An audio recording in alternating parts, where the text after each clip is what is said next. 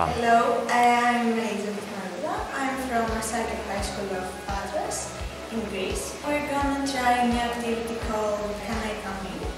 With our English teacher, Miss Georgina Hinsburg. So, uh, yes, I will be uh, your instructor and your guide for this new activity. I hope that you all it at the end. I'm really um, excited about the fact that you uh, are going to be aware of really serious global matters and maybe to start seeing things from a different perspective.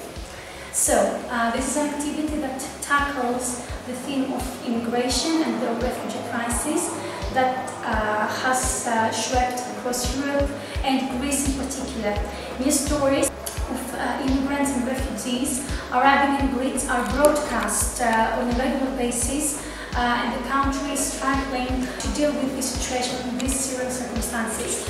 Teenagers uh, in our country um, are often uh, indifferent towards current affairs and show a really uh, great lack of motivation concerning several um, political and social issues. Hello, my name is Stenis Pletsos and I'm a student of the Arsakeia Tositseia Schools of Patras. I would like to tell you some things about the, this activity that was called Can I Come In? This activity is a role play about a group of refugees uh, fleeing their homeland who wish to enter another country. We used our knowledge about the matter uh, and the role cards given to us to be able to act our roles out.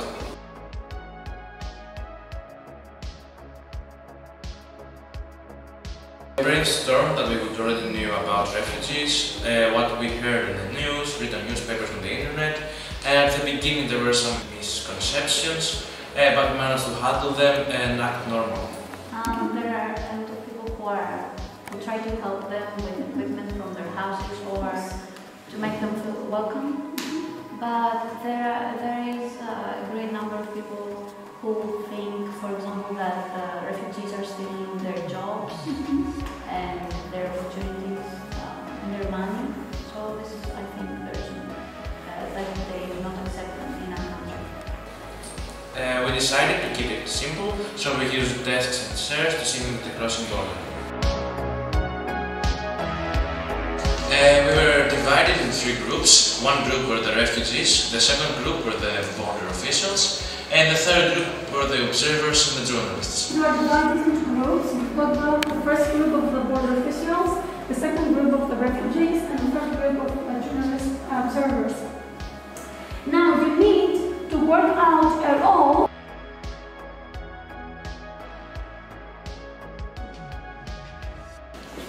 We need your age and the country of origin. I'm 16 years old. I come from Syria. I'm serious. Do you have any family members living here?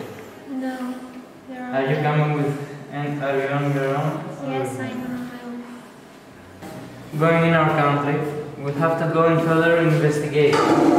So you have you don't you you are not allowed to enter our, our country yet. Uh, but I have uh, nowhere to go and I have no money with me. What can We I are sorry, but you will have to stay a little bit longer so we can investigate. Okay, so I need uh, shelter to live. As long as I'm staying here, I need a shelter and food. Where can I find that? Because of the terrorist attack, we are checking all men before they enter the country. After the check, am I okay to? Yes, to but you will have to stay here uh, some days. The refugees uh, want to cross the country. They are hungry, tired, cold, and have traveled a long way from their home countries. Only a few have identification documents or passports. Uh, the border officials from Greece uh, have different points of view about the situation. The refugees are desperate and use arguments to try and persuade the border officials to let them in. Uh, then the observers give feedback on the roleplay.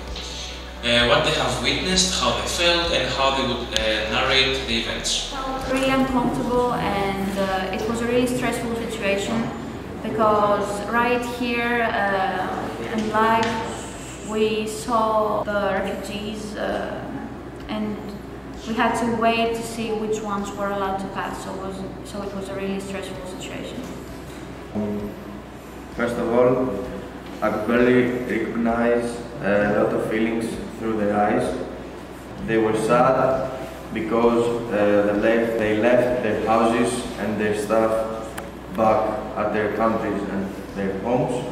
They were wet from the trip with the boat because they traveled a lot of uh, miles with uh, border officials. Um, they were trying to seek for a better future and uh, that's the reason that uh, they are leaving their country. They were worried about uh, if we're gonna let them pass the country with or without their families. As a follow-up, we made uh, the use of Channel 4 interactive video, 2 billion miles, which again made us uh, see things from the inside and watch the outcome or this uh, decision come to life.